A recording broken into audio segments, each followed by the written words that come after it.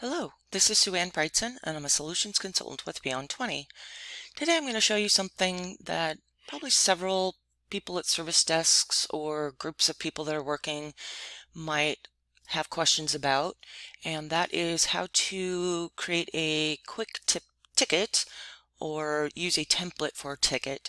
Of course, we can always set up a one-step to do this, but if you had several users, say all of your service desk staff that they had the same type of ticket coming in all day, every day, and you wanted to give them something that everybody could use and it's it's merely a button that they can click that'll make it quicker for them, then we can do that with a one step and then adding items to a menu. So we'll start out by going to our one steps and within our one step manager we're going to actually set our association to none.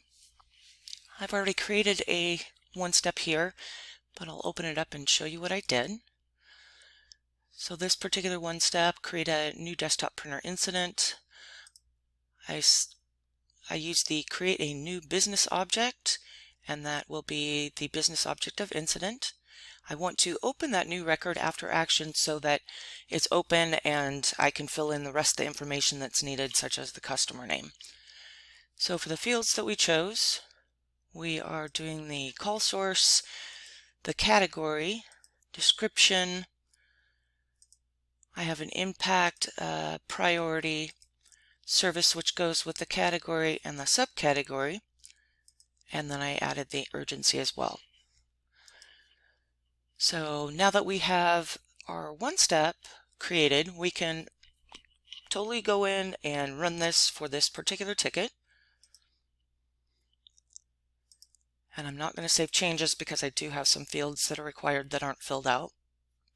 And we can leave it at that. Or if we wanted to make it a little bit easier and actually share that with everyone and have buttons for them to be able to quickly get to and use, we can go into our admin client.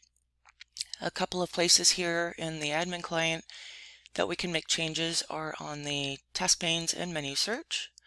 So within here, I will just go to our default and edit that. And in our common tasks, if I configure that, I can add another item here. And we will select our one steps Make sure our association is in none because that's where we created our one step. Select that one step that we created. And of course we can move this up or down wherever we want in this list and select OK.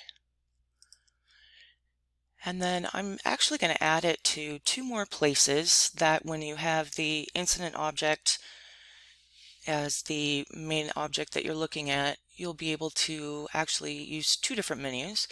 So we're going to go into a blueprint that I already have open. If you don't have a blueprint open, make sure to create a new blueprint. And within this blueprint, I'm going to my incident object. And under Edit Actions, we have a menu. You can see that menu here already has quick templates. And I'm just going to add an action under my quick templates and that'll be a one step.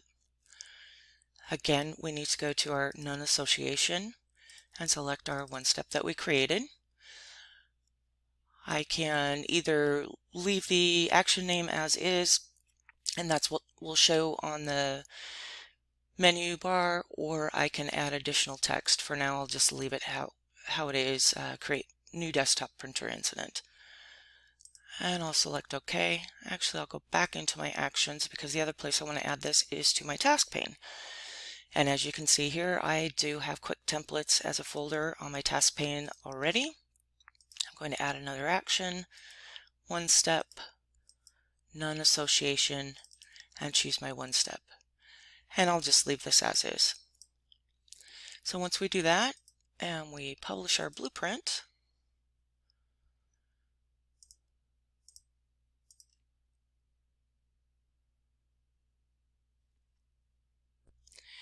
We will go ahead and close this since it's been published. go back into our desktop client. Normally what we would do is reload definitions. I'm not going to save that that we started on.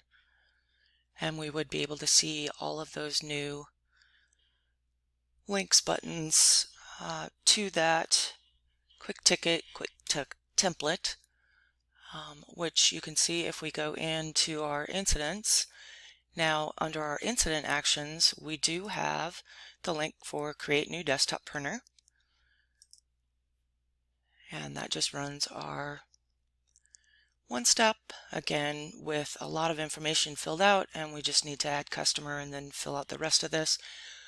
Uh, the other place that we can get to that link if we are just in our incident screen is incident actions up top, quick templates, again create a new desktop printer incident.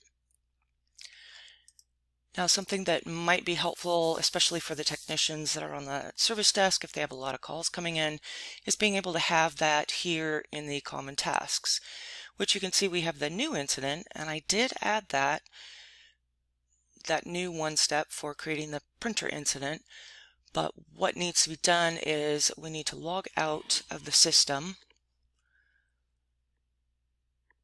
and log back in in order for that to show up. So now we have our create new desktop printer incident in our common tasks. And when we select that, it gives us the incident with most items filled up. That's just a quick way to allow people to create new incidents or you could do a lot of different things with those uh, types of templates or links to one steps and it's just a time saver for folks. So thank you for watching. I hope you found this useful. If you'd like to watch additional videos for more tips and tricks, please subscribe to our YouTube channel, Beyond 20 LLC.